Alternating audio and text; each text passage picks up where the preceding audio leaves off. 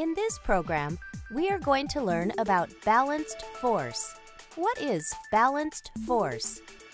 Balanced force is when the forces acting upon an object are equal and in the opposite direction.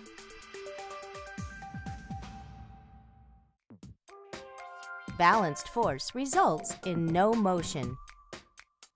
These books do not move because the pull of gravity on the books and the push of the table are equally strong. They balance each other. Balanced forces keep objects in one place. There are unbalanced forces too.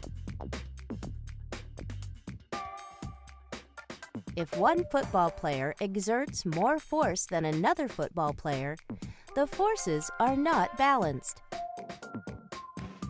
The liftoff of a space shuttle is an example of an unbalanced force in action. The thrust of the engines is greater than the weight of the rocket. Balanced forces keep objects still and fixed in one place.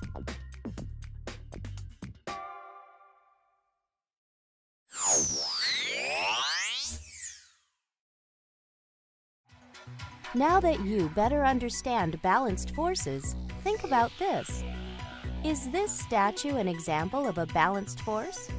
Why or why not?